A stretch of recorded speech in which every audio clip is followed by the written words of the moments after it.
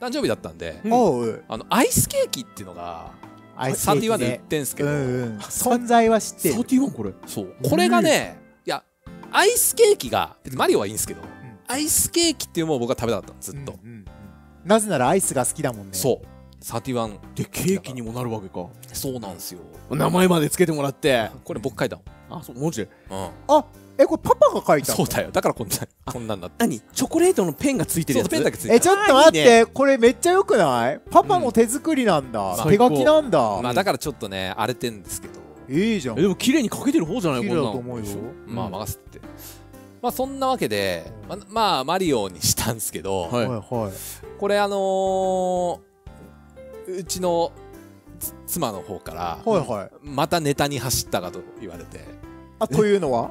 えダメかよことれいうのは？やっぱりあのあ最近幕末のって最ことですか？近、うん。あのー結構僕写真とか撮るんですよ。うんそうね。ほ放送で、ほうん。放送で中から。ケークボ用のね。うん。そうそう水族館行った時とかも写真撮ってんですけど、いっぱい撮ってるさまた今回もネタに走ったかと言われてですね、ただ僕はねいいあのーラインナップを見て、マリオですよ。ううんん。僕のあの小学校の時に初めて買ったうん机のデスクマットもマリオですよ。あ僕もそうだった。机のデスクトップそう。デスーパーマリオワールドの、うん。マリオついてるよね。マリオですよ。スーパーマリオワはいールド。ええでこれ思うんですよ。でまあそういうふうにネタに走ったかと言われてうん。まあうっとなるとこもありますが、うん。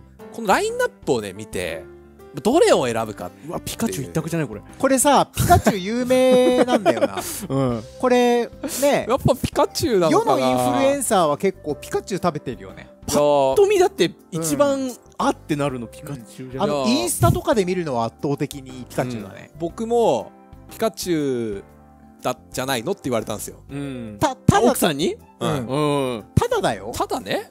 切れてないよねピカチュウは。そう。そうなのでさっきのマリオのやつは切れてたよ小分けになってんだ。小分けになってた。うん。うん。ただね 今思って確かにピカチュウ。パピカチュウいいね。ピカチュウってなんか、うん。あの動画で食べてる人とかも見たことあるけど、うんうん。なんか一個のものに対していろんなこうこう、うんなんていうの？こうどどんどんこうん。う顔顔がこう部位を削っていくのね。部位を削って食べられていく感じのイメージなんだよ、それが楽しいんじゃないの？うん子供にはよろしくないかピカさんがどんどん崩れていく、うん。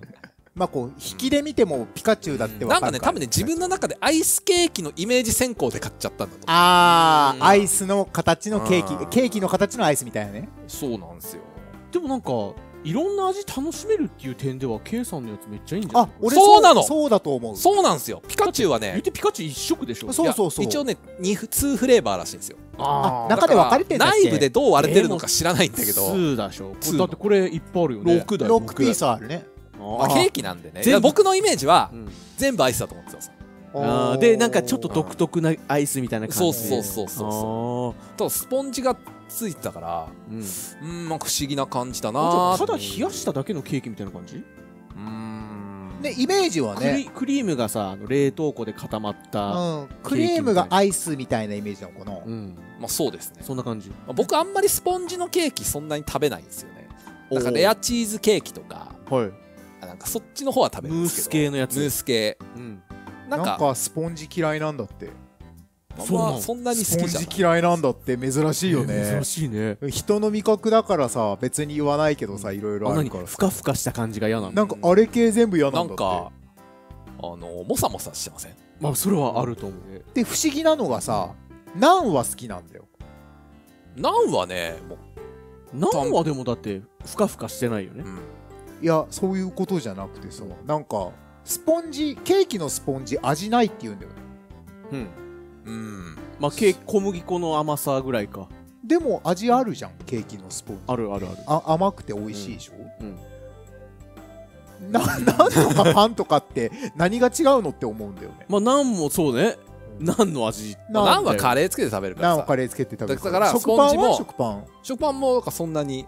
あーあうんー食パンはそんなになんだ。うん。ジャムとかつけて食べるから。うんそうなんだよね。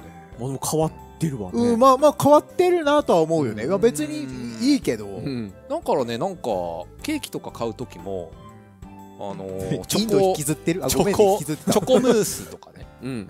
あのーそういうの選びがちなんだよね、うん。なんかあの俺も近いそっちでもショーケースでさケーキどれってなった時にうん。いちごショートとはならないわけさ、うん。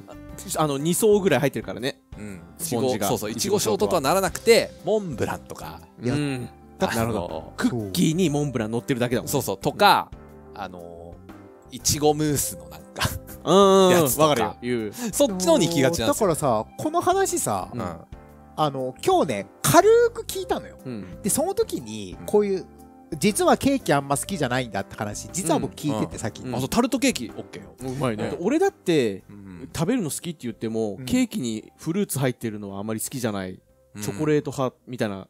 で K さんの好きな食べ物って思い返してみたら、うん。なんかね味が濃くてめっちゃ分かりやすいもの めっちゃ分かりやすい味をうまいって言いがちなのよこの人、んだから例えば僕さううん。ん今あんまやってないけど、うん。ダイエットガチってた時って、はい。うんあのー塩茹でした鶏胸肉とかさ、うん。低温調理した鶏胸肉とか食べてて、はで沼とか食べてたわけ、うん家食ってたね毎日ね。うん、あのおおかゆね、うんうん。で食べてもらったことあるんだけど、うん。ぜ味味薄くてうまくねって言うわけよ、まあ塩とか少ないんでしょまあ率直な感想を言うとね、うん。うん。でも俺全然美味しいと思って食ってんだよね。言ってたね毎日これなら毎食でもにこれ食えるわ。ぐらいだったら食べれるよみたいうなまくねと言ったかどうかは。うまくねって言った。言った言った言った。あ言っただからやっぱ味濃いのがやっぱうん。じゃないと美味しいって感じないんだよこの人。この味っていうのが来なきゃダメなんだ。そうそう。そうだとそうなんだ。わ、だって今までの経歴そうだもん。ラーメンの好みとかも。あ。なんだかんだでやっぱ味濃いの好きだし。そうだ。あのうん。あれもやし嫌いって言うじゃん K さん。そう。おまあそうあっす。薄まるのが嫌だっていそうう味が薄まるからでしょ。そう。いやーもやしはもやしそのものですけどね。もやしだももやしももやしだけだったら味ないじゃん。うん。あほとんど。うんうんそれが苦手なんだわさん。いや俺そうだと思うよ。水っぽい感じ。うん。うん。そうだわ。だと思うよ。だから炒めたら OK なんだそうそう。ってって言うじゃん。そう炒める時ちょっと味付けたりするっていうのもあるのかな。そうそう。そうへえ。まあ別にいいんだけどね。成人病まっしぐらだな。うーん。まあ別にいいんすけど。大丈夫大丈夫。俺がいるそから。うそう。そう。K さん意外と味濃いものじゃないとうまいって言わないっていうのはあるね。だからシフォンケーキとかそのスポンジの味で勝負するのは味ね。得意じゃない。んね。確かにホットケーキとかもさ結局上のシロップ食べてるようなもんだ違うよ。あれはホ生地のあのさほんのり甘い感じがうまいんだよ。それにうん。シロップの甘さでそうそう。もっとうまくなる。プラスでうまくなる。だと思うけど。ねね絶対かけますけどね僕。だって俺シロップ少なめの方が好きだもん。ホットケーキ食べるときって俺最初何もつけないで食べあていいですね。で後からかけるうん。かなそうそうそう。ナンも一緒カレーの。ナンだけで食ってうんうんうん。半分くらい。でその後につカレーつけてまた何の話？すいません。今日今日ちょっとインドに侵されてるから。何のだけに何なんだろう？そう。なんだまあまあまあなんだそんなわけで。何の話をしてるんだろう？まあちょっとこの辺もうちょっと掘り下げてね今度。うん好きなものみたいなの。出すと面白いかも。いい楽しいねうん